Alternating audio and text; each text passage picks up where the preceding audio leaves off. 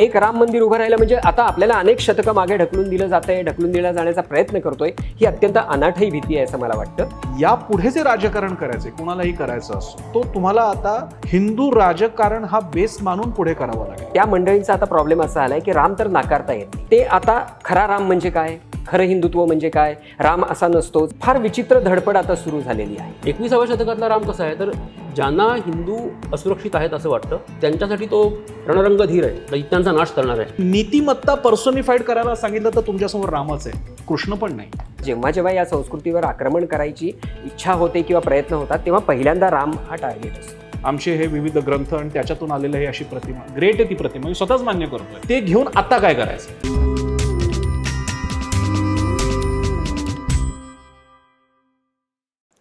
नमस्कार मी विनायक पाचलक आणि थिंक बँकच्या या विशेष भागात तुम्हा सगळ्यांचं मनापासून स्वागत. हा थिंक बँकवरचा पहिला राऊंड टेबल आहे आणि त्याला औचित्य आहे ते राम मंदिराच्या उद्घाटनाचं तिथल्या प्राणप्रतिष्ठापनेचं आणि माझ्याबरोबर या विषयावर चर्चा करण्यासाठी याची वेगवेगळी अंग समजून घेण्यासाठी तीन वेगवेगळ्या क्षेत्रातले दिग्गज आहेत. माझ्याबरोबर आहेत पुढारी न्यूजचे national news editor Prasanna Joshi. त्यांनी गेल्या दोन महिन्यात अयोध्यामध्ये बराच काळ घालवलेला आहे तिथली परिस्थिती संस्कृती समजून घेतलेली आहे. त्यांच्याकडून मला या विषयातलं राजकीय सामाजिक अंग समजून घ्यायचं आहे. माझ्याबरोबर आहेत हेमंत राजोपाध्ये. हेमंत राजोपाध्ये हे भारतीय इतिहास धर्म या सगळ्याचे अभ्यासक आहेत इंडॉलॉजिस्ट आहेत. त्या सगळ्या अंगानं मला त्यांच्याकडून समजून घ्यायचं आहे. माझ्याबरोबर आहेत अभिराम भडकमकर प्रख्यात लेखक नाटककार.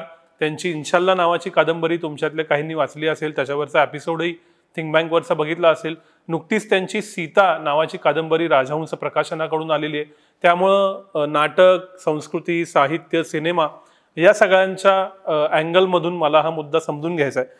तुमच्या तिघांचंही स्वागत आहे या थिंक बँकवरच्या पहिल्याच प्रयोगात. आणि पहिला प्रश्न तिघांनाही कॉमन आहे की ही जी घटना आहे राम मंदिराचं उद्घाटन होणं तिथं प्र प्रतिष्ठापना होणं या घटनेकडं ही काही साधी घटना नाही याच्या मागं खूप मोठा इतिहास आहे. संपूर्ण भारतीय समाज मनावर काही ना काही परिणाम घडवेल अशी घटना आहे. या घटनेचं तुमच्या तिघांचं इंडिव्हिज्युअल अनालिसिस काय प्रसन्न. विनायक धन्यवाद. या तुझ्या थिंक बँकच्या या पहिल्या अशा प्रकारच्या कार्यक्रमात आपण आम्ही सहभागी होतोय आणि त्यानिमित्तानं उत्तरं देण्याच्याही भूमिकेमधचा एक आनंद त्या निमित्तानं घेता येतोय. So coming back to your question हा ही मोठी घटना आहे याबद्दल तर वादच नाही.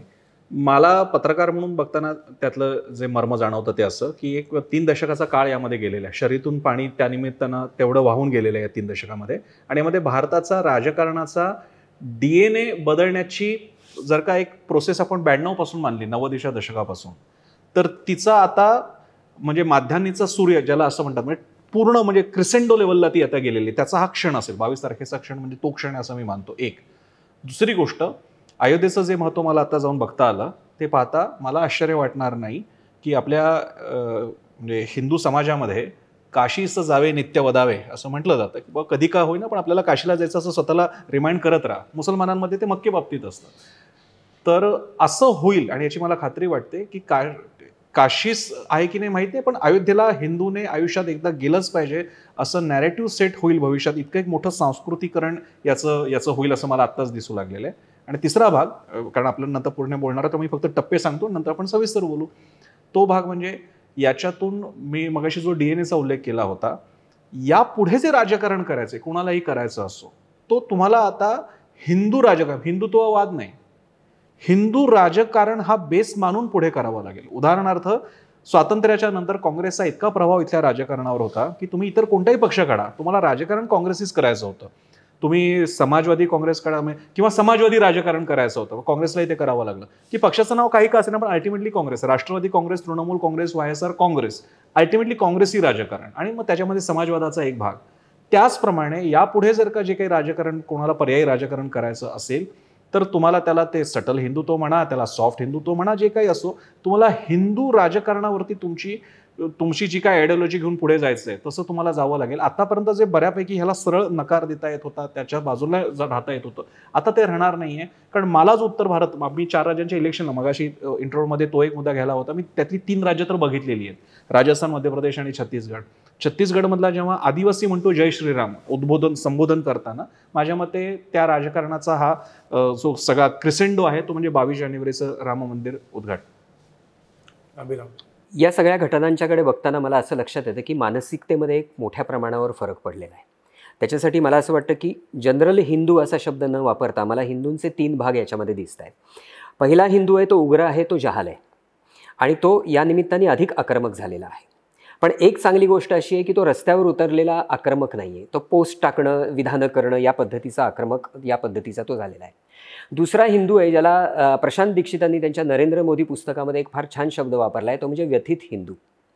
आत्तापर्यंतच्या या संपूर्ण कालखंडामध्ये की जो साधारणतः साठ एक टक्के हिंदूंपैकीचा भाग असं आहे असं मला वाटतं की त्याला सतत असं वाटत आलेलं आहे की आपला धर्म आपला देव आपले धर्मग्रंथ आपल्या धारणा याची टिंगल केली जाऊ शकते त्याच्यावर टीका केली जाऊ शकते. आणि गंगा जमनी तहजीब वगैरे या सगळ्या गोष्टी सांगून आपल्याला त्या ठिकाणी कुठेतरी गप्प बसवलं जातं. असं अशी त्याची एक जी भावना होती. आज त्याच्यामध्ये एक कॉन्फिडन्स आलेला आहे आणि तो डोळ्यात डोळा भिडवून हे म्हणू शकतो आहे की मला गृहित नाही धरायचं. मी एक सत्ता बदलू शकतो मी राजकारणाला मी वेगळा देऊ शकतो मला गृहित नाही धरायचं. अशा पद्धतीचा एक त्याचा कॉन्फिडन्स मला वाढलेला दिसतोय. तिसऱ्या प्रकारचा एक हिंदू आहे त्याची फार मोठी गोची झालेली मला दिसते की तो हिंदू असा आहे की त्यांनी आत्तापर्यंत अत्यंत अभिमानाने आणि गर्वाने आपण हिंदू आपलं हिंदूपणच नाकारले मी हिंदूच नाही. तुम्ही कोण? तर तो म्हणेल मी मानव आहे माणूस आहे. तो पुरोगामी असू शकतो. म्हणजे तथाकथित पुरोगामी किंवा उदारमतवादी वगैरे अशा पद्धतीचा हिंदू तो असायचा. आज त्याचा गोंधळ असा झालेला आहे. त्यांनी आत्तापर्यंत राम मंदिराच्या बाबतीमध्ये राम नाकारला राम काल्पनिक आहे असं म्हटलं. जयराम रमेशांच्या सारखा अत्यंत सेन्सिबल माणूस त्याच्याबद्दल की राम मंदिराच्या ऐवजी शौचालय बांधा अशा पद्धतीचं विधान करून बसला. तर अशा पद्धतीचे हे हो त्या मंडळींचा आता प्रॉब्लेम असा आला आहे की राम तर नाकारता येत नाही कारण या मंडळी ही मंडळी सत्तांतराला उत्सुक असल्यामुळे सत्तांतरामध्ये राम मंदिर अडथळा येऊ शकतं असं असल्यामुळे त्यांना राम नाकारता येत नाही. मग ते आता खरा राम म्हणजे काय? खरं हिंदुत्व म्हणजे काय? राम असा नसतोच. रामायणात या सगळ्या गोष्टी हे करून ती फार विचित्र धडपड आता सुरू झालेली आहे. मग एकाच वेळेला तो ज- आव्हाडांच्या बाजूनी उभा राहतो त्या ठिकाणी पोस्टी टाकतो आणि दुसऱ्याच बाजूला नाही हिंदू मी आहे ना मी हिंदू आहे. मी कधी नाकारतोय? आम आम्ही आमचं हिंदू म्हणून आमचंही एक मत आहे. अशा पद्धतीच्या मानसिकते तो मध्ये आलेला आहे. मला हे मानसिक बदल झालेले या संपूर्ण समाजामध्ये आत्ता बावीस जानेवारीच्या निमित्ताने दिसत आहेत आपण आत्ता खूपच समकालीन अंगानेच दोघांची मतं ऐकली. मी थोडासा थोडा व्यापक पद्धतीने मला हे थोडक्यात म्हणतो मी सुरुवातीला. मला वाटतं की हा जो हा जो प्रसंग घडणार आहे तो या सगळ्या गुंतागुंतीचा प्रसंग म्हटला तसा एक चरमबिंदू असणार आहे की ह्या सगळ्या गेल्या तीस वर्षातल्या रामजन्मभूमी आंदोलनाचा तो यशस्वीतेचा परमबिंदू आहे. तिथे राम मंदिराच्या रम राम मंदिरामध्ये रामाची स्थापना होती आणि त्याचं राजकारण वगैरे वगैरे हे सगळे मुद्दे पुढे येतीलच. मला वाटतं की भारतीय समाजामधल्या ह्याच्यामध्ये एक आत्ता हा सगळा गवगवा एकीकडे होतोय टोकाचा. पण मला वाटतं की या सगळ्या समाजाची आपली आपला जो पोत आहे गेल्या दोन हजार वर्षापासून तो पाहतोय आपण त्या पोतामध्ये अशा अनेक घटना घडलेल्या दिसतात. त्या घटनेचं एक पुन्हा एकदा एक रिपिटेटिव्ह फॉर्म एक वेगळ्या पद्धतीने आपल्यासमोर किंचित उग्र स्वरूपात लोकांना वाटेल आत्ता कारण आपण ते आता फील करतो आहोत. प्रत्येक काळामध्ये अशा खूप टोकाच्या एक्स्ट्रीम पातळीवरच्या घटना घडलेल्या आहेत. त्याचं हे आत्ताचं आपलं समकालीन रूप आहे एक. दुसरी गोष्ट मला असं वाटतं की ह्या गुंतागुंतींमधले काही राजकीय पदर लक्षात घ्यायला हवेत आपण. फाळणी आणि त्याच्या आधीचं साधारणतः अठराशे एक्क्याऐंशी नंतर जनगणना ब्रिटिशांनी धर्मवार घेतल्यानंतर जे काही हिंदू मुस्लिम राजकारण सुरू झालं त्यानंतर फाळणी झाली लखनौ करार फाळणी आणि फाळणीनंतर जे काही हिंदू मुस्लिम द्वैत राजकीय पातळीवर उपखंडात पसरलं गेलं त्या द्वैताचं हे एक नवीन आणि एक महत्त्वाचा बिंदू त्याचा हा आहे. आणि अर्थात प्रसन्न आणि अभिराम सर दोघं म्हणाले तसं की एक राजकारणाची आता एक नवीन दिशा कदाचित हा मोमेंट हा जो मोमेंट आहे तो ठरवू शकेल. पण मला वाटतं की ही एक गेल्या दोन हजार वर्षातल्या सगळ्या राजकीय स्थित्यंतरामधला एक ज्या काही खूप महत्त्वाच्या घटना आहेत तशी एक खूप महत्त्वाची घटना म्हणून त्याची इतिहासात नोंद होईल. आत्ता आपल्याला तिची धग तिची तीव्रता तिचा आनंद त्याविषयीचा जल्लोष हा खूप मोठ्या प्रमाणात जाणवतोय. आणि त्याच्याविषयी क्रिया प्रतिक्रिया पुढे येत राहतील.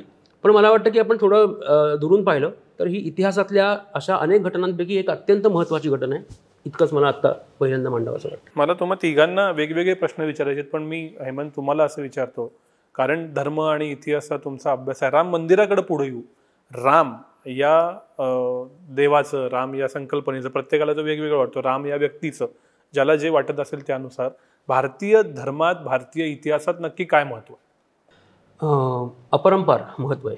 ते अपरंपार महत्त्व राम ही वाल्मिकी रामायणातली किंवा इतर रामायणातल्या कथांमधली व्यक्ती म्हणून सुद्धा आहे. आणि दुसरं म्हणजे राम ही संकल्पना अतिशय महत्त्वाची अरविंद मंगरुळकर नावाचे पुण्यात सप महाविद्यालयातले मोठे अभ्यासक होते. त्यांनी एका प्रस्तावनेत असं लिहिलं होतं की संस्कृत काव्यांमध्ये किंवा प्राचीन काव्यांमध्ये इतकं सगळं असं भव्य दिव्य इतकं सुंदर मोहक मधाचे झरे वाहत आहेत आणि कमलाची फुलं ताटव्यामध्ये हंस विहरत आहेत वगैरे इतकं सगळं असं रोमॅन्टिक आणि इतकं सुंदर सगळं का असतं? तर त्याचं कारण त्यांनी दिलं होतं की समकालीन समाजामधली अपरिमित दुःख आणि त्यांच्या व्यक्तिगत आयुष्यातल्या व्यथा ह्या ह्यातून मुक्ती मिळवायला हे जे सुंदर नितांत रमणीय काव्य रचना ज्या झाल्या याचं कारण हे आहे.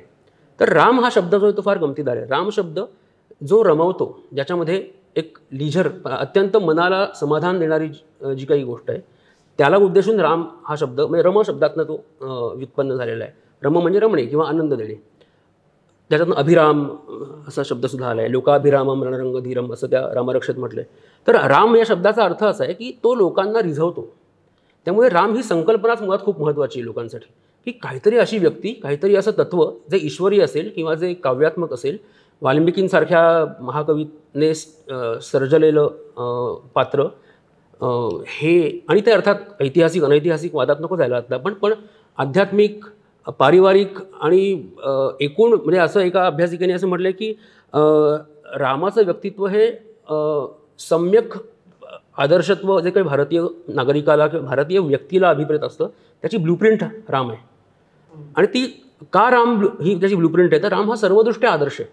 एकतर कौटुंब आपल्याला ते वडिलांचं वचन मानणारा एकपत्नी वगैरे हे सगळं माहितीच आहे.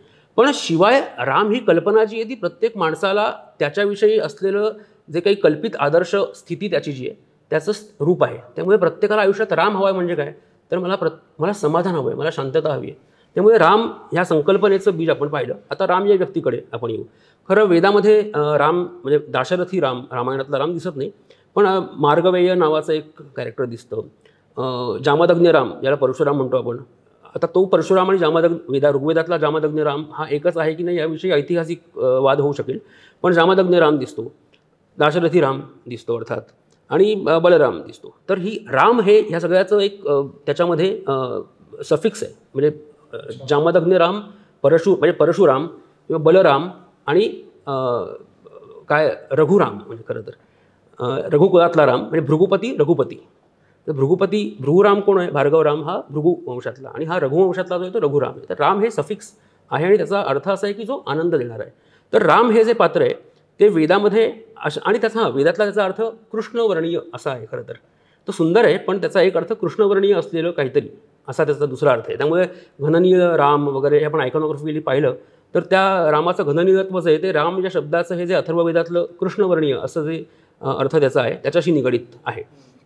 आता हे पात्र आता आपण रामकथेकडे थोडं लांबेल उत्तर पण रामकथेकडे येऊयात. वाल्मिकींची रामकथा ही आपण प्रमाण आजच्या डिस्कोर्समध्ये किंवा गेल्या दोन तीनशे वर्षामध्ये किंवा पाच एकशे वर्षामध्ये मानतो कारण राम वाल्मिकींची रामकथा ही साक्षात अश्वघोषासारख्या महाकवीने सांगितले की वाल्मिकी राधव ससर्ज काव्यम म्हणजे वाल्मिकींना आदिकवित्वाचा दर्जा हा बौद्ध असलेल्या अश्वघोषाने दिलेला आहे. आणि त्यांनी रामायण रचलं म्हणजे काय झालं? तर परंपरा असं मानते की त्यांनी स्वतः रामायण अनुभवलं. प्रत्यक्ष त्यांनी राम रामरायाचं जीवन पाहिलं. आणि मग त्यांनी त्या रामकथा लिहिली. किंवा एक परंपरा सांगते असं की त्यांनी आधी रामचरित्र लिहिलं आणि मग तसं राम रामायण घडलं. ऋषीनाम पुनराध्यानाम वाचमर्थोनु धावती. ऋषी जे म्हणतात तसं प्रत्यक्ष घडतं. हे वाल्मिकींवरून प्रतीत झालं. अशा अर्थाचा तो श्लोक आहे. त्यामुळे वाल्मिकींनी जे लिहिलं तसंच रामाच्या आयुष्यात घडलं. असं एक हे आहे. आता वाल्मिकी काही अभ्यासकांचं मत आहे की वाल्मिकी रामायणाच्या आधी एक दशरथ जातक नावाची नावाचं जा बौद्ध जातक आहे. तर ते कदाचित इट प्रिडेट्स ही राम राम वाल्मिकी रामायणाच्या आधीचं ते ही रामकथा आहे. आता ही रामाची रामाच्या व्यक्तित्वाविषयीची आणि चरित्राविषयीची संस्करणं आहेत. त्या संस्करणांमधलं वाल्मिकी रामायण हे प्रमाण आहे असं आपण फक्त मानतो. प्रत्यक्षात आज बहुतांश आपल्या भोवताला जेवढे हिंदू राम रामभक्त आणि राम अभक्त किंवा कथित पुरोगामी किंवा जे काही आहेत असे सगळे जे म्हणले किंवा कथित हिंदुत्ववादी असे जी लोक आहेत त्या सगळ्यांसाठी राम कोणता आहे? तर तो आयदर तुलसी रामायणातला राम आहे किंवा तो रामानंद सागरचा राम आहे. खरं तर रामानंद सागरचा राम जास्त प्रमाण आपल्याकडे असतो. तो असं डॅपर क्लीन शेव असलेला वगैरे असा तो छान स्मितहास्य करणारा राम. ही आपल्या लोकांच्या मनातली रामाची भूमिका आहे. कारण पात्र पण त्यांनी बरोबर ते नेमलेस. उत्तम हास्य असलेला तो अरुण गोविल ते राम या संकल्पनेशी खूप सुसंगत असं ते पात्र त्यांनी निवडलेलं होतं.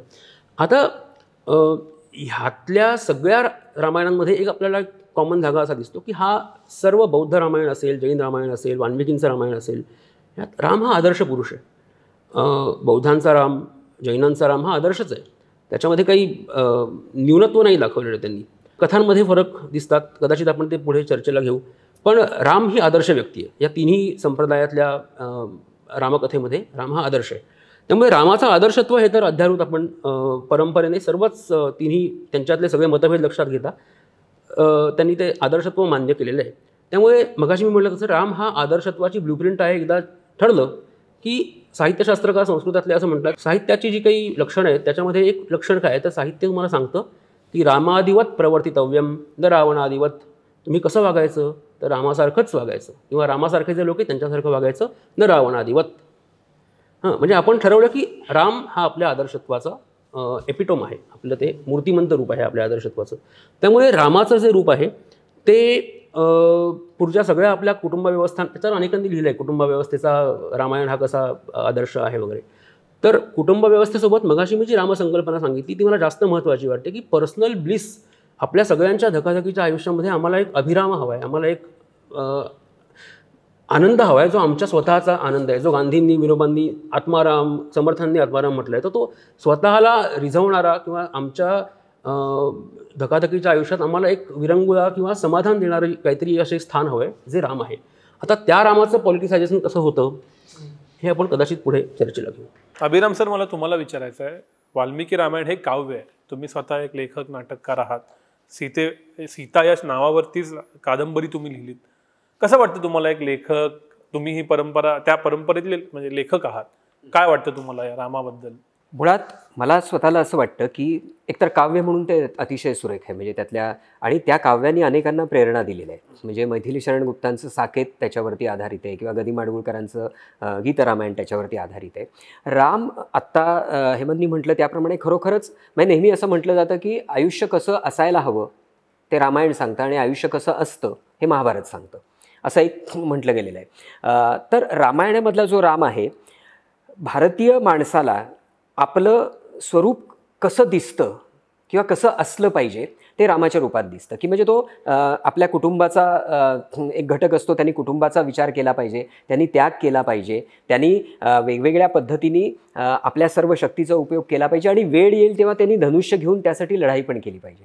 म्हणजे एकाच व्यक्तिमत्वाचे इतके वेगवेगळे जे पैलू आहेत जे आपल्याला आदर्शवत वाटतात ते रामामध्ये एका ठिकाणी आहेत.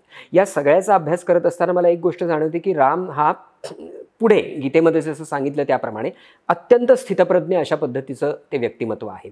म्हणजे त्याला वनवास दिला तरीही म्हणजे रामायण सिरियलमध्ये ते स्माईल का होतं?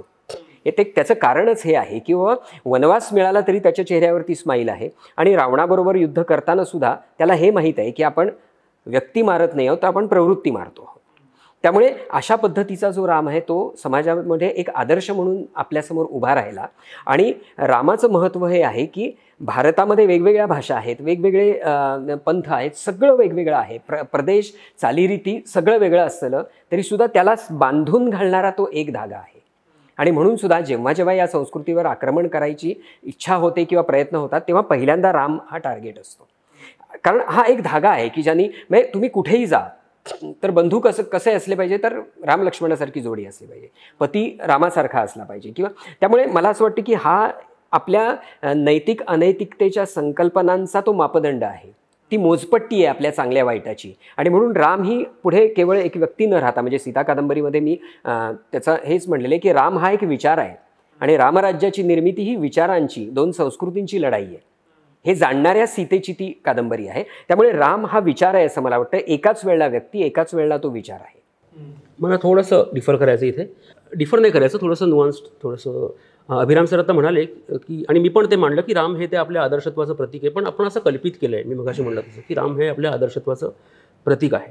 ते कल्पित करणं ही प्रोसेस फार गमतीदार आणि महत्त्वाची आहे. राम हा एका रामामध्ये सर्व गुण आहेत आणि राम हा धीरोदात्त आहे.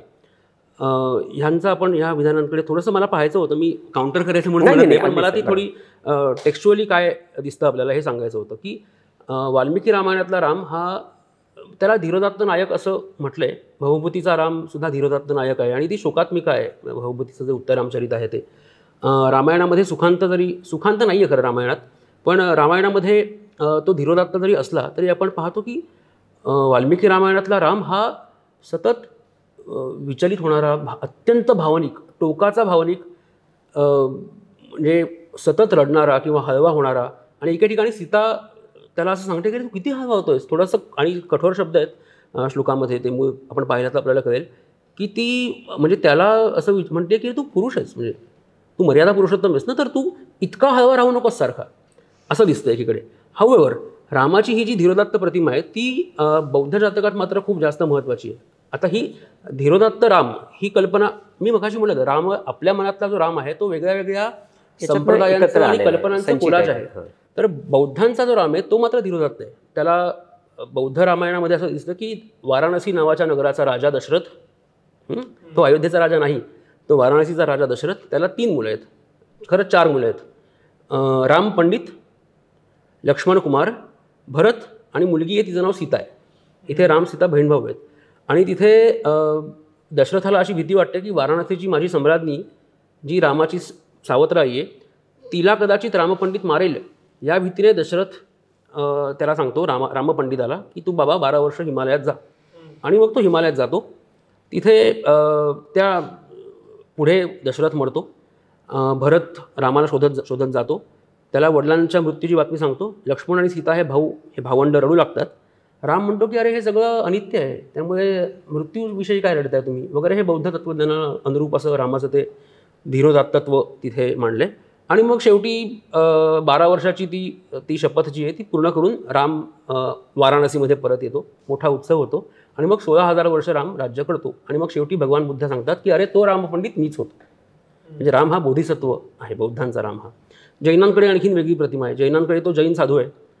आणि रावणसुद्धा जैन साधू आहे. आणि मी फार विस्तार करत नाही. शेवटी असं होतं की लक्ष्मणाला राम म्हणतो की अरे इतका महान जैन साधू आहे त्याच्याकडनं एक चूक झाली आहे. सीतेचं हरण त्याचं जे काही स्त्रीविषयीच्या लंपटपणा आहे. पण अदरवाईज रावण हा फार महान जैन साधू आहे. अर्हत अवस्थेला तो पोहोचेलच म्हणजे आता. तर मी काही त्याला मारणार नाही तर तू त्याला मार.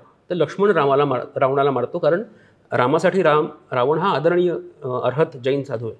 तर ह्या सगळ्या अशा वे- एक लाओस नावाचं जे चिनी म्हणजे मंगोलियन मंगोलियन प्रांत आहे तिथे फ्रालाम आणि फ्रालाक आणि फ्रालाम अशी रामकथा तिथे पोचली आहे बौद्धांच्या थेरवादाच्या माध्यमातून. आणि तिथे फ्रालाक आणि फ्रालाम हे जी लक्ष्मण राम अशी दिसतात तर ती कथा काय सांगते आपल्याला की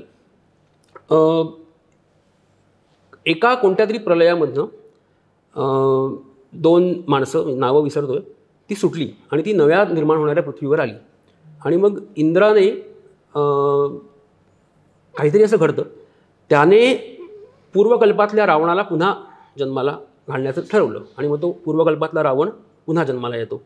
आणि त्या ते जे दोघं निघालेले होते त्यांच्या दोन शाखा होतात त्यातला एक रावण आहे हा जो पूर्वकल्पातला पुनर्जन्म झालेला. आणि दुसऱ्या शाखेत मात्र म्हणजे भा- हा पुन्हा भाऊबंधांमधला वाद आहे. दुसऱ्या शाखेतला शाखेतली भावंड ही फ्रालाक आणि फ्राराम फ्रालाम अशी आहेत. आणि मग इंद्राला प्रश्न इंद्राला भीती वाटतं की हा रावण इतका पराक्रमी आहे तो आपलं पद हिरावून घेईल. आणि मग तो त्याला हे माहिती आहे की बोधिसत्व आता फ्राराम या रूपात जन्म घेणार आहे. त्यामुळे तो निश्चिंत राहतो. तर हे म्हणजे बौद्धांकडून ते धीरोदात्तत्व वगैरे जे काही आले ते आले किंवा मला म्हणायचं असं होतं मूळ मुद्दा माझा हा होता की रामाच्या प्रतिमा आपण कोणत्या पद्धतीने रामाला इमॅजिन करतो हे जर आपण खरं त्याची ज्ञान मीमांसा पातळीवर जर चिकित्सा केली तर तो वाल्मिकी रामायणातला राम आपल्याला आवडतो असं नाही. आपल्याला रा वाल्मिकी रामायणातला राम कदाचित आवडणार नाही कारण तो खूपच शामू अतिसभ्य असा राम आहे.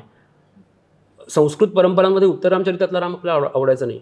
पण बौद्धांचा राम कदाचित आपल्याला आदर्श वाटू शकेल जैनांचा राम आदर्श वाटू शकेल. आदर्श म्हणजे आपल्याला आवडू शकेल. वाल्मिकींचा राम आदर्श आहेच तो सगळी आदर्श मूल्यांचं पालन करतोच.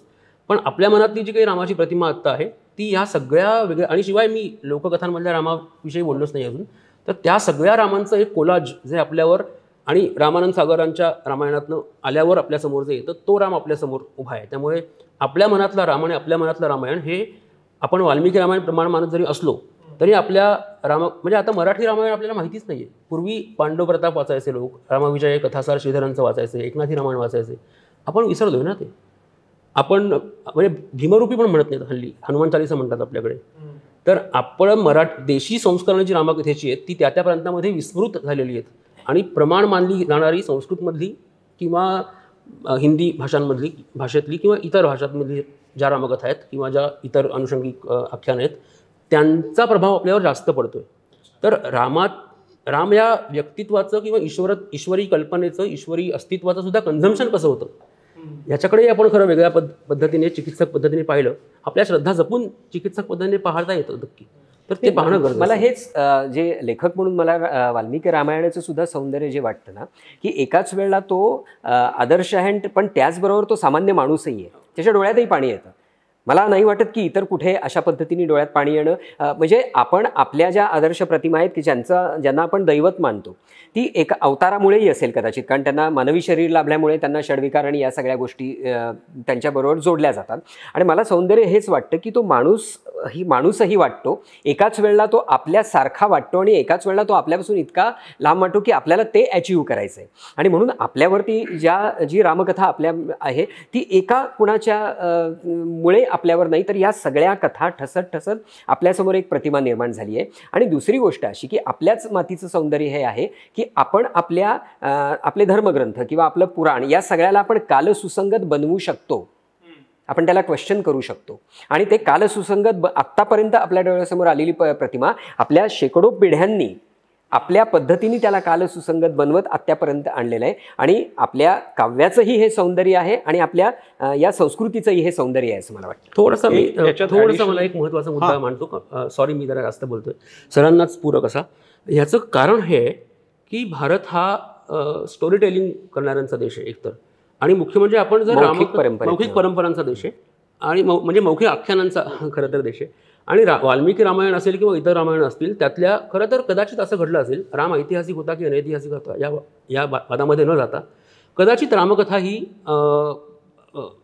थोडं सिंध पंजाबपासून ते आग्नेय आशियापर्यंत नक्की या लोकविश्वामध्ये एका मोठ्या काळापर्यंत अजूनही प्रसृत आहे. आणि तिची जी प्रमुख संस्करणं आहेत त्यातलं वाल्मिकी एक आहे दशरथ जातक एक आहे किंवा इतर संस्करण आहेत. तर त्यांना आपण ग्रंथ स्वरूपात पाहतो. अदरवाईज फोक रामायणांची त्यांचं डॉक्युमेंटेशन झालेलं नाही आहे हे एक. आणि दुसरी गोष्ट म्हणजे आपण वेदांपासून पाहिलं तर अनेक आख्यानही रामायणाच्या वाल्मिकी रामायणामध्ये आपल्याला वेगळ्या पद्धतीने मा- म्हणजे अहिल्याचं अहिल्याची कथा आहे. तर ती वेदामध्ये वेगळी अहिल्याची कथा आहे. शूर्पणखेची कथा आहे. तर शूर्पणखेची कथा जी आहे ती षडविंश ब्राह्मणामध्ये सा सामवेदाचं ब्राह्मण आहे त्याच्यामध्ये दीर्घजिव्ही नावाची बाई आहे. शूर्पणखा म्हणजे जिची सुप सुपासारखी नखं आहेत. आणि ही दीर्घजिव्ही आहे जिची जीभ दीर्घ आहे जी थोडक्यात ती खूप टॉक खूप बडबडी आहे. हां तोंड आपण म्हणतो टोकदार जीभ आहे तिची तशी ती आहे. आणि ती पण कामं कामासक्त आहे तिलाही सतत कामं वाचताना तिची जागृत सतत असते. आणि मग तिच्याकडे काही देवांची तिचा पराजय केल्यावरच राक्षसांचा विजय पराजय होणार असतो. म्हणून तिला देव फसवतात अशी एक कथा दिसते. तर या अनेक कथा म्हणजे आपल्याकडे जी प्रमाण मानलेली मानलेले ग्रंथ आहेत त्या ग्रंथांमधली कथानकही वेगळ्या वेगळ्या फोकलोअर्समधनं आणि वेगळ्या वेगळ्या वेदांमधल्या किंवा न डॉक्युमेंट झालेल्या कथांमधनं आपल्याकडे प्रमाणित रूपात या ग्रंथांमधनं येतात. त्यामुळे रामा राम आणि रामकथा हे सगळंच आपण खूप नव्याने तपासून जर पाहिलं तर काहीतरी वेगळीच वास्तव आपल्यासमोर येतात. याचा अर्थ राम होता की नव्हता याच्यामध्ये मी जात नाही आहे माझी स्वतःची श्रद्धा मी सश्रद्धा असल्यामुळे रा रामावर माझी श्रद्धा आहे. पण अभ्यासक म्हणून हे मांडणं गरजेचं आहे की राम हे व्यक्तित्व आम्ही कसं कन्झ्युम केलं? आध्यात्मिक पातळीवर राजकीय पातळीवर सांस्कृतिक पातळीवर हे मी सश्रद्ध माणूस आणि जबाबदार नागरिक दोन्ही अंगाने पाहणं गरजेचं आहे. मला जो मुद्दा पुढच्या प्रश्नाला जाण्यापूर्वी जो ह्याच्यात ॲड करावा असं वाटतो की रामाचं हे संचित राम नावाचं एक संस्कृती संचित आपल्याकडे आहे. ते नेमकं जो ह्याने बरोबर मुद्दा मांडला हेमंतने तो आपण परसिव्ह कसं करणार आहोत? म्हणजे मी आपण जरा आजची परत चौकट देण्याचा प्रयत्न करूया. राम त्याचे विविध व्हर्जन्स हंड्रेड रामायणाबद्दलचा मला आठवतं इंडियन एक्सप्रेसमध्ये मोठा लेख आला होता मोठं कॉन कॉन्ट्रोवर्सी झाली होती. आणि इथे नमूद केलं पाहिजे की त्या लेखकावर ज्याने या निबंध निबंध लिहिला होता हंड्रेड रामायणावरती त्याच्यावर कारवाई करण्यात आली होती. आपल्याला या प्रश्नाला भिडायला हवं की राम राम रामायण यांच्या इंटरप्रिटेशनसाठी आम्ही आजच्या या आधुनिक काळामध्ये आम्ही खुले असणार आहोत की नाही? एक. दोन.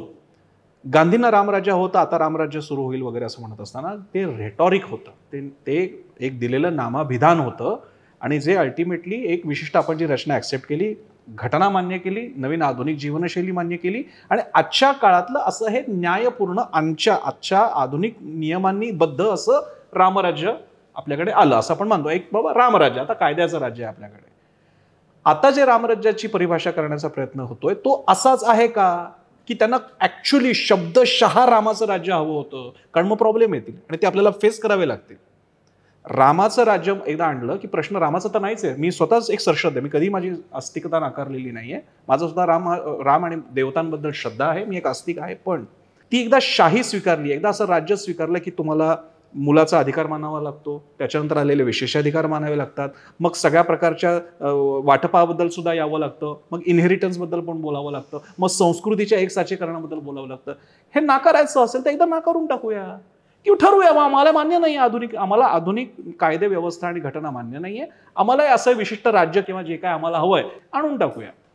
काय होईल माहिती का? अन्यथा आपण फक्त एक रोमॅन्टिसिझम अरे आमची कथा अरे आमची संस्कृती अरे आमच्या आमचे हे विविध ग्रंथ आणि त्याच्यातून आलेलं हे अशी प्रतिमा. ग्रेट आहे ती प्रतिमा. मी स्वतःच मान्य करतोय. अधिकृतरित्या मान्य करतोय. ते घेऊन आता काय करायचं त्यामुळे माझ्या मते ती दिशा चुकायला नको. मला एक असा प्रश्न विचारायचा आहे प्रसन्नपासून सुरुवात करू आणि मग बाकी दोघांकडे येऊ. की जे आत्ता बहुसंख्य लोक आहेत आपण असं म्हणू की शंभर कोटी लोक आहेत की ज्यांच्या मनात येणं केनं प्रकारे राम आहे. त्यातल्या किती टक्के लोकांना ह्या न्युअन्सेस किंवा डिटेल्स माहीत असतील? किंवा किती टक्के लोकांनी त्याचा त्या अँगलनं विचार केला असेल? आत्ता एक ढोबळ स्वरूपातला रामाची प्रतिमा जी कदाचित रामानंद सागरची असेल मी तर त्याच्यानंतर जन्मलेला माणूस आहे सो वेगवेगळ्या पद्धतीनं आलेली असेल तर आत्ता लोकांच्या मनातलं राम आणि रामराज्य खरंच जितकं आपण न्यूआन्स म्हणतोय तेवढं आहे का त्याचं एक सिम्प्लिफाईड व्हर्जन लोकांनी केलं काय वाटतं? मी जे जाऊन बघून आलो आणि मला कारण मी तो काळ बघितलेला आहे रामानंद सागरचा नवोदीचा काळ. आणि मी जे आता मला अयोध्येला माझी तिसरी फेरी होती आणि नंतर चौथी होईल. सो या निमित्तानं बघता आलं तर त्या बाबतीत जे हेमंतही म्हणाला तसं प्रामुख्यानं आमच्यावरती वाल तुलसी वाल्मिकी पण नाही हा. तुलसी रामायण आणि तुलसी रामायणातून तयार झालेलं रामानंद सागरचं रामायण याचा प्रामुख्यानं प्रभाव आहे. आमच्यासमोर लाय टाईमलाईन स्पष्ट आहे. राम चार भाऊ लग लग्न राजाभिषेक होण्याच्या आधी सा सावतराई म्हणते की याला बाहेर काढा. जंगल जंगल शूर्पणखा वगैरे सगळं तर रावण घेऊन गेला. सीतेचं अपहरण झालं. हनुमान हनुमानाशी सगळी वानरसेना सोबत आली. श्रीलंकेचं सगळं. सीता आणि हे सगळे पुष्पक विमानातून अयोध्या. इथपर्यंत आम्हाला नीट आठवतं. त्यानंतर ज्यांना आणखी ज्यांना नीट आठवतं त्यांना मग उत्तर रामायण आठवतं मग लवकुश आठवतात मग रामकथा वगैरे सगळं पुढचं आठवतं. त्यामुळे तो हे म्हणजे मी उत्तर भारतात सुद्धा लोकांशी बोलताना त्यांना हीच टाईमलाईन आणि हे त्यातून तुलसी रामायण. या टाईमलाईनच्या बद्दल पण तुलसी रामायणामध्ये ज्या प्रकारच्या सीतेचं म्हणजे ती घुंगटधारी आहे. पण हे जर का वाल्मिकी रामायणात तुम्ही गेलात आम्ही सगळ्यात म्हणजे मी एक छोटंसं उदाहरण दिलं. हेमंत याबद्दल अधिकारी आहे की तुम्ही जर का जे वाल्मिकी रामायण सर्वाधिक ऑथेंटिक मानलं जातं आणि आता तर तिकडच्या एअरपोर्टला नावच वाल्मिकी देत आहे त्यामुळे असं पण मानून चालू आहे की राज्य संस्था हे वाल्मिकी रामायणाला प्रमाण मानतं. विनायक तुला गंमत सांगतो वाल्मिकी रामायण प्रमाण मानायचं म्हटलं ना तरी अडचणी तयार होऊ शकतात. जसंच्या तसं जर का ते अभ्यासून विचार करायचा झाला तर. तो अभ्यास करायला आपण तयार आहोत का? आणि तुम्ही तुलसी रामायण घेतलं तर तुलसी रामायण हा तुलसीदास ज्या काळात होते ज्या उत्तर भारतात होते तिथल्या संस्कृतीसह ते रामाला सादर करतात आणि ते अगदी स्वाभाविक आहे. सो त्यामुळे त्याची तो एक ही मांडणी जर तुझ्या प्रश्नाकडे यायचं झालं तर तो राम हा प्रामुख्यानं भारताभरतातला आणि उत्तर भारतातल्या खास करून तुलसी रामायण. आणि तुलसी रामायणाचं ट्रान्सलेशन रामानंद सागर वेगळं रामायण नाही तुलसी रामायणातून झालेलं रामायण आहे. त्या रामायणाचं सगळ्यांवरती प्रभाव झालेला आहे. मी थोडं कर म्हणजे थोडं या प्रश्नाला एक्सटेंड करतो किंवा वेगळा हे देतो. आत्ताचा लोकांच्या मनातला रामदेव हे कशाचं तरी प्रतीक आहे? उदाहरणार्थ कृष्ण कशाच तरी प्रतीक आहे? गणपती कशाच तरी प्रतीक आहे? शिव कशाच तरी प्रतीक आहे? आत्ता एकविसाव्या शतकातला राम लोकांच्या मनात नक्की कशाचं प्रतीक आहे? ते त्या बाबतीत मात्र एकमत आहे. राम सुराज्याचं सुशासनाचं त्या सुराज्य सुशासनाचा जो एक चांगला राजा ज्या अर्थानं राज्य यंत्रणेचा प्रमुख असावा लागतो त्याचं ते प्रतीक आहे. आणि म्हणजे अनेकांशी बोलताना हे जाणवतं की ते त्या बाबतीत प्रसंगी नैतिकतेच्या नैतिकतेचा सर्वाधिक सर्वोच्च प्रतिकात्मक जर पर्सोनिफाईड नैतिकता पर्सोनिफाय करायची झाली तर ते कृष्णापेक्षा सुद्धा रामाला मानतात. म्हणजे मी तुलनाच करायची झाली तर. कारण कृष्णाची सुद्धा कृष्ण नीतीच आहे ना ती. आणि महाभारतामध्ये आपल्याला दिसतं. अर्थात त्याच्यात पुन्हा मग अनिती का मूल अगर धर्म होतं अनिती बी धर्म आहे वगैरे ते ते बाजूला ठेवूया त्याबाबतीत ते हेमंतचं डिव्हि डिपार्टमेंट आहे. पण हेमंतही कदाचित ॲग्री करेल की नीतिमत्ता पर्सोनिफाईड करायला सांगितलं तर तुमच्यासमोर रामच आहे. कृष्ण पण नाही. या हे रामाचं नक्की महत्त्व आहे. हेच एकविसाव्या शतकात आहे आता रामाचं महत्त्व नाही मला काय वाटतं की हा जो एक प्रश्न आहे ना की अयोध्या म्हणजे वाल्मिकींचं नाव दिलं म्हणजे आता सगळं तसंच्या तसं येणार का? हे प्रॅक्टिकली आपल्याला माहिती आहे की खूप काळ निघून गेलेला आहे. त्यामुळे तसंच्या तसं सगळं इथं आणण्याचा प्रयत्न असं काही होणार नाही आहे म्हणजे आता घुंगटचा या ठिकाणी जो उल्लेख केला की सीता तशी असणार आहे का? पण मग प्रॉब्लेम असा होतो की आम्ही आधुनिक काळामध्ये संविधान वगैरे हे सगळं जेव्हा मानत असतो त्यावेळेला मग धार्मिक स्वातंत्र्य म्हणून आपण काय काय स्वीकारतो? आपण बुरखाही स्वीकारतो ना? आता अनिष्ट रूढी असलेला बुरखा आपण धार्मिक स्वातंत्र्य म्हणून स्वीकारलेला आहे. मधल्या काळामधल्या जो काही आहे. त्यामुळे मला असं वाटतं ना की ही अत्यंत काल्पनिक अशा पद्धतीची भीती आहे. ती निर्माण झाली आहे का निर्माण केली गेली आहे मला माहीत नाही. की आता मंदिर निर्माण झाल्यानंतर तुम्हाला परत मागच्या शतकांमध्ये ढकललं जाणार आहे. तर मला असं अजिबात वाटत नाही. संविधान हेच बेसिक असणार आहे. परंतु राम आणि जनमानसातला राम तो वाल्मिकी रामायणातला येऊ हो. वेगवेगळ्या प्रकारच्या रामायणांमधनं आपल्यापर्यंत आलेला राम आणि आपण वर्षानुवर्ष त्याला क्वेश्चन करून घासून पुसून कालसुसंगत बनवलेला जो राम आहे तोच राम जनमानसामध्ये आत्ता आहे आणि त्या रामाचाच या ठिकाणी विचार होणार आहे. त्यामुळे स- की राम मंदिर झालं वाल्मिकींचं नाव दिलं म्हणजे संविधानाला धक्का लागला वगैरे असं मला अजिबात काही वाटत नाही. कारण प्रत्येकाला माहिती आहे की त्या काळामध्ये जे काही होतं तसंच्या तसं इथे आणता येणार नाही. पण त्या काळामधल्या ज्या काही गोष्टी आहेत की ज्या आल कालसुसंगत वाटतात नैतिकतेच्या संदर्भात असतील किंवा अनेक गोष्टींच्या संदर्भामध्ये असतील की त्यागाच्या संदर्भामध्ये असतील. म्हणजे कुटुंबासाठी केला जाणारा त्याग असेल किंवा या ज्या सगळ्या गोष्टी आहेत की या सगळ्या गोष्टी तर आजच्या काळामध्ये लोकांना रामाकडनं घ्याव्याशा वाटणारच. परंतु रा एक राम मंदिर उभं राहिलं म्हणजे आता आपल्याला अनेक शतकं मागे ढकलून दिलं जात आहे ढकलून दिला जाण्याचा प्रयत्न करतोय ही अत्यंत अनाठही भीती आहे असं मला वाटतं. आणि हा मुद्दाच मला अजिबात पटत नाही. हेमंत मला थेट तुम्हाला असं विचारायचं आहे एकविसाव्या शतकातला राम नक्की काय रिप्रेझेंट करतो? मला असं वाटतं की आपण थोडं let's not put cart before the horse मला वाटतं की राम मगाशी मी म्हणलं की राम हे राम कसा परसिव्ह कसा कन्झ्युम केला जातो. खरं आपण रामाचं काही किंवा रामकथा किंवा कोणतीही कथा आपण कालसुसंगत करत नसतो. आपण आपल्याला सुसंगत करत असतो.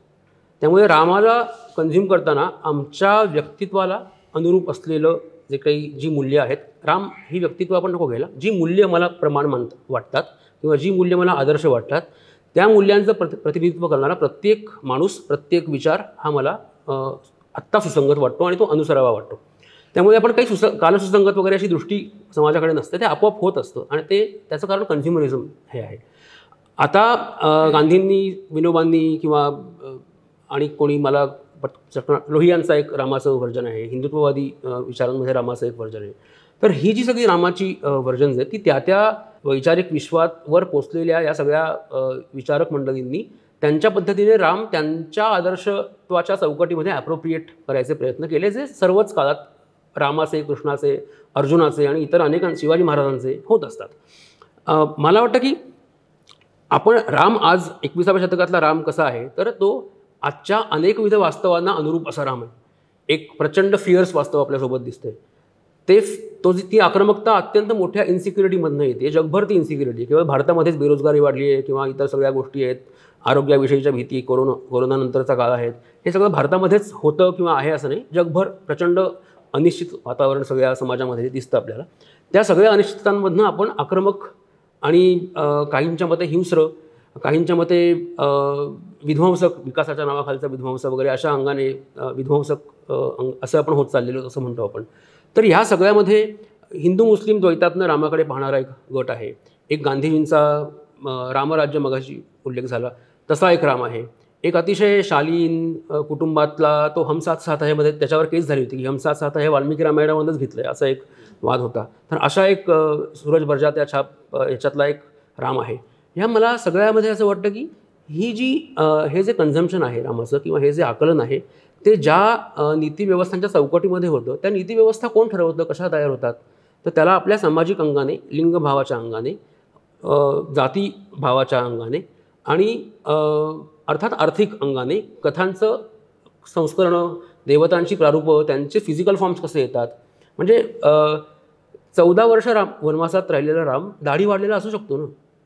आपण तो डायपर का दाखवतो? अरुण गोविल असतो तसा. म्हणजे अशी पूर्व अशी चित्रं दिसतात दाढीवाल्या रामाची. Let's not discuss only Ram Shankar हे योगी शंकर हा योगी आहे युगानुयुगांचा योगी आहे. त्याचं त्याचं पोट सुटलेलं असू शकतं ना.